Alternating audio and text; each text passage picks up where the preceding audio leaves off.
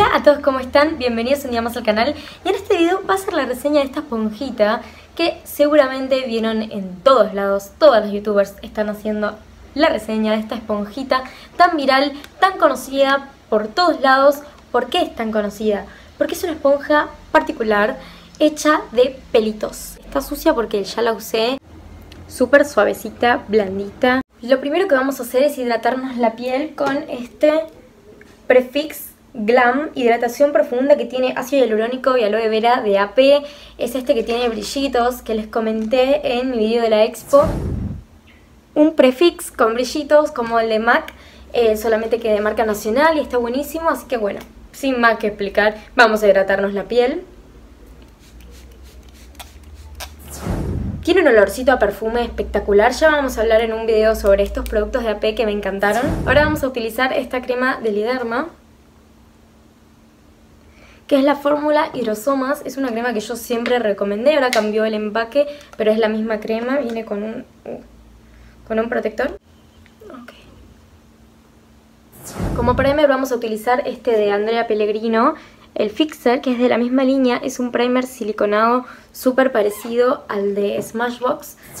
Como verán, mi piel no es perfecta, tengo bastantes imperfecciones, por eso soy más de utilizar brocha que esponja, porque generalmente la brocha da más como más cobertura, la esponja da un acabado más natural. Pero bueno, vamos a probar la esponja, a ver qué tal, me voy a acercar.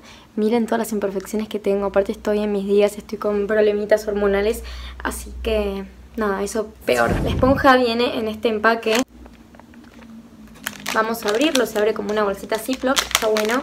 Eh, es una esponja que sale 5 dólares, pero acá la pagué 600 pesos argentinos. Ya las instrucciones que se puede usar seca o mojada, eh, seca para los productos en polvo y mojada para los productos cremosos.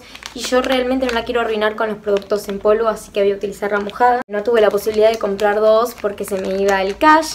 Eh, vieron que las youtubers generalmente compran dos como para probarla de las dos maneras. Oh, wow. Se siente de terciopelo. Es una esponjita que está llena de pelos. Está hecha con microfibras y hace que eh, te quede un acabado perfecto. Es como una nueva tecnología que te deja un acabado perfecto a la base con cobertura. Así que bueno, vamos a ver qué tal. De todas formas vamos a usar una base cubriente. Vamos a usar la de Urban Decay All Nighter. Eh, ya se va a venir un video hablando de esa base, ya que como ya sabrán se inauguró Urban Decay acá en la Argentina en dos sitios, en Florida y en, en el Falabella de Florida y en el Falabella del Unicenter, que es el shopping. Yo les había hecho un haul del Falabella, pero no de maquillaje, sino de ropa, que se los voy a dejar acá como sugerencia. Eh, bueno, vamos a mojarla y ver cuánto se agranda. Se volvió un poco más oscura y un poquito más grande. Miren el color. La textura súper suavecita. Disculpen ahí que tengo manchado con un labial que le mostré a mi mamá. Eh, ya les quiero hacer un top 3 de base o algo así. Esta es una de mis top 3 definitivamente. Ok.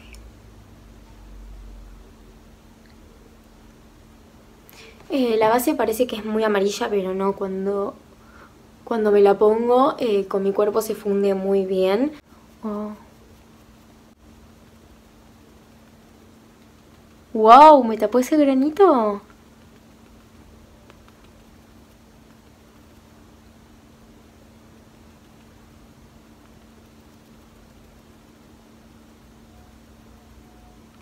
Y lo bueno de esto es que tiene un ángulo que va perfecto como para esta parte de las ojeras. Realmente se siente... No se siente mojada, cuando te lo aplicas parece que está seca. Es como muy loco porque está mojada, lo siento, pero cuando tocas parece algo seco. Será por los pelitos. Siento que las esponjas quizá te dejan como un acabado húmedo y esto no, esto como que hace que se asiente la base. Hoy no era mi día porque tenía muchos granos, pero siento que si no tienes imperfecciones te va a dejar un acabado perfecto de la base porque quizá no me ven tan perfecta porque tengo granitos, me los cubrió súper bien. La verdad que te deja como un acabado de brocha, pero al estar mojada no parece tan cakey, sino que parece más natural, pero te cubre muy bien. ¡Wow! Me encantó. Realmente valió la pena. Bueno, vamos a aplicar el corrector y vemos qué tal. Y vamos a aplicar este de Urban Decay, el Naked Skin.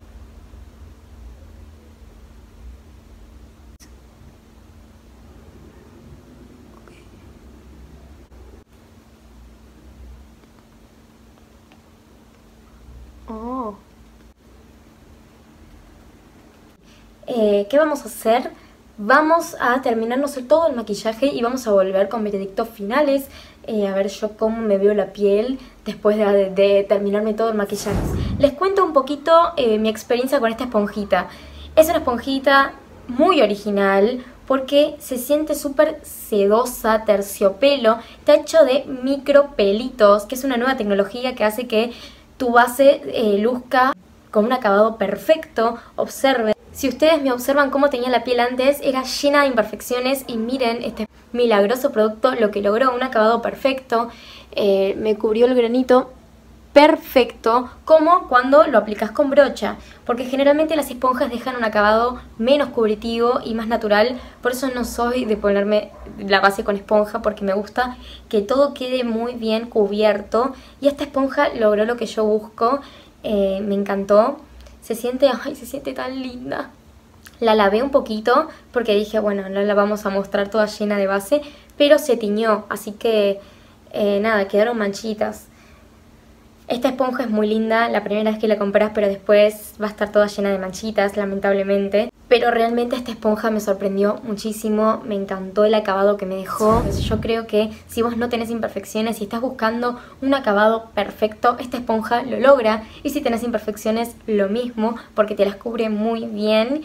Así que no sé, súper recomendable, me encantó el producto, muy novedoso.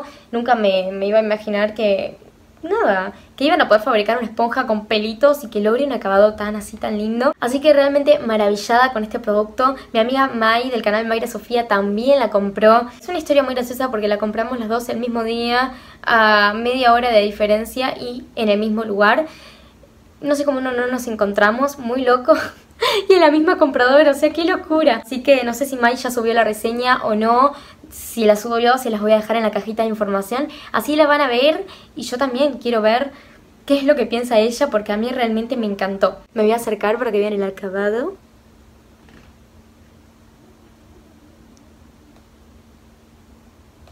muy lindo. Les cuento qué me pasó con esta esponja. Algo que tiene de particular, cuando te aplicas la base, primero que nada tenés que poner en tu manito eh, puntitos y la esponja. ¿Por qué se me manchó ahí la esponja? Porque hice algo que está mal. Hice la típica de agarrar base y ponerme para eh, un acabado más cubritivo, es algo que yo suelo hacer con las esponjas, pero en este caso esta esponja es particular al estar hecha de pelos. Eh, yo no, había leído las instrucciones realmente porque dije una esponja, ¿cómo no voy a saber usar una esponja? Así que nada, atentis con eso, háganse puntitos en la cara y difuminen que es mejor. La lavé, cuesta salir, restos de base quedaron. Me parece muy linda y muy divina, pero bueno, a medida que la empezás a usar se va a ensuciar bastante. Está mojada y se seca al instante porque es impresionante, ya la estoy tocando y parece seca. Y miren que la acabo de lavar hace 10 segundos. Antes de grabar el video, hace no sé, 4 minutos, 5, la acabo de lavar y ya está seca. ¡Qué locura esto! Cuando vos te la aplicás, aunque la hayas sumergido, mojado y excurrido, parece seca, es impresionante. Miren, el acabado que me deja la esponja es impresionante. Hoy es otro día, hoy la volví a usar. No les quería hacer unas primeras impresiones porque tenía miedo de que la use el primer día, me fascine, la use otro día más y no me guste. Así que que la estoy probando. Ayer la usé y fue cuando les grabé el primer clip, cuando me la apliqué, mis primeras impresiones, que me quedé, ah, ah, ah, me quedé wow, oh my god. Pero eh, bueno, hoy es mi segundo día y me encantó el acabado que me dejó la base. Tenemos este labial puesto porque bueno, lo estamos probando para el canal, así que es un color medio raro, pero lo estamos probando. Bueno, eh, mi amiga Mai ya hizo la reseña y ya la subió, ella antes que yo, las dos lo compramos el mismo día, a ella le encantó. Mai me sugirió que me aplique el iluminador porque esta esponja se puede utilizar tanto mojada como para productos líquidos y cremosos y tanto seca para polvos. Me dijo que me haga el baking, que pruebe hacerme el baking con la esponja, así que lo que vamos a hacer es mañana volver a probar la esponja con la base, hacer el baking y también que aplique el iluminador. Dice que a ella le dejó una iluminación así como la mía, saben que yo amo todo lo que es potentoso y le dejó un reflector como me gusta a mí, así que mañana vamos a probar la esponja de nuevo y vamos a ver qué onda y vamos a volver con opiniones finales. Acá volvimos con la esponjita limpia y vamos a pasarla sobre las ojeras para quitar cualquier pliegue que se haya hecho. Solamente tenemos en el rostro base y corrector.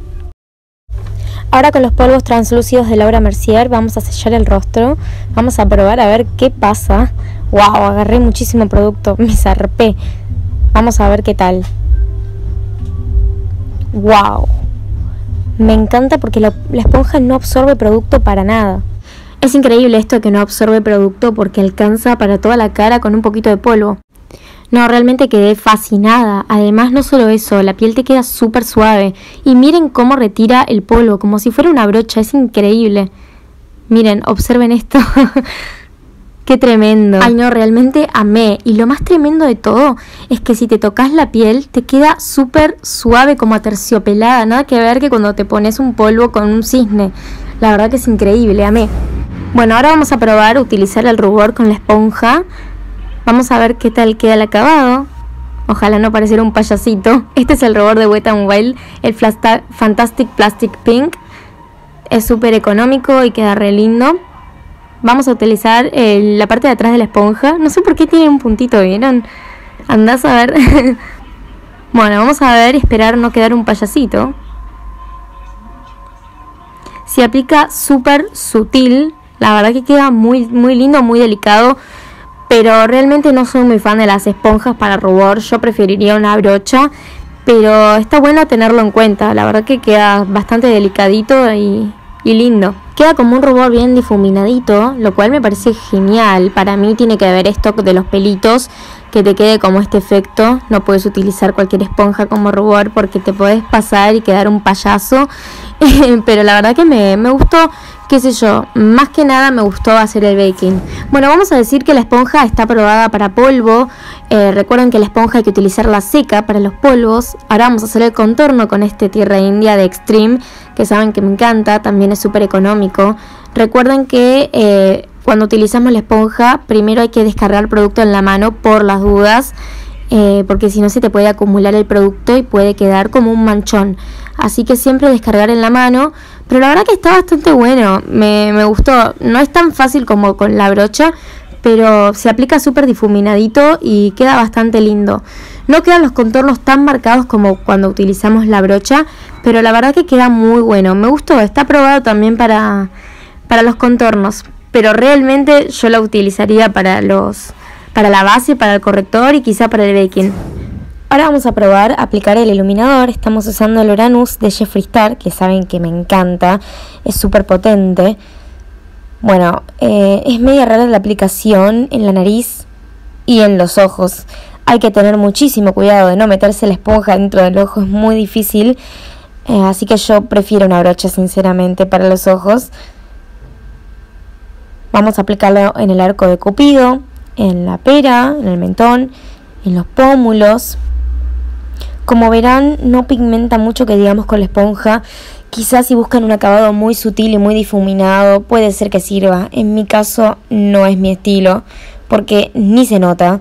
Yo soy muy de lo muy potente, saben que me encanta parecer un foco y siento que la esponja este acabado no me lo da, así que sinceramente preferiría una brocha Así que no me gusta mucho con la esponja. La prefiero más para el baking o para los productos cremosos como la base y el corrector. Así que vamos a probar utilizar la brocha a ver qué tal para que ustedes vean la diferencia entre el acabado tranqui y el acabado que me gusta a mí. Así que como verán prefiero la brocha. Ahora sí me siento yo, observen qué diferencia, esto es muchísimo más pigmentado, me gusta más la brocha sinceramente. Bueno gente, acá volvimos con la esponja limpita nuevamente después de utilizar todos esos polvos. Eh, quedó muchísimo más limpita que la primera vez.